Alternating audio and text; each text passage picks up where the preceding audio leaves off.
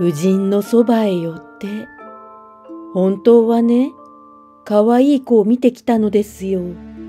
そんな人を見ると、やはり前生の縁の浅くないということが思われたのですがね。とにかく子供のことはどうすればいいだろう。公然私の子供として扱うことも世間へ恥ずかしいことだし、私はそれで反問しています。一緒にあなたも心配してください。どうしよう。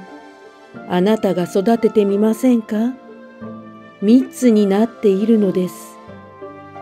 無邪気な、可愛い顔をしているものだから、どうも捨てておけない気がします。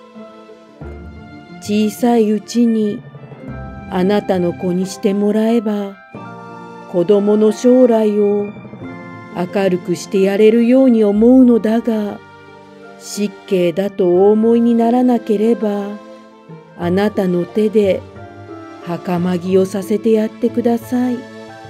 と、源氏は言うのであった。私を意地悪なもののようにばかり決めておいでになって、これまでから私には大事なことを皆隠していらっしゃるものですもの。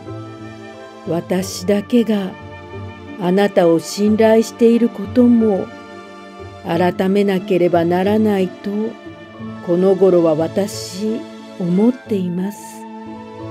けれども私は小さい姫君のお相手にはなれますよ。どんなにおかわいいでしょう。その方はね。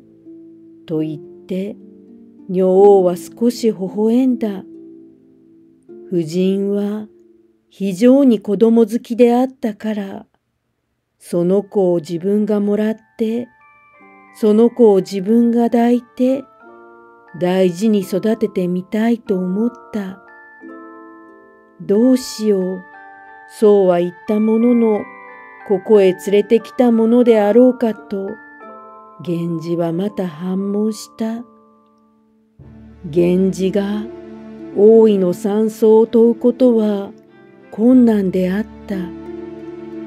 佐賀の御堂の念仏の日を待って初めて出かけられるのであったから、月に二度より会いに行く日はないわけである。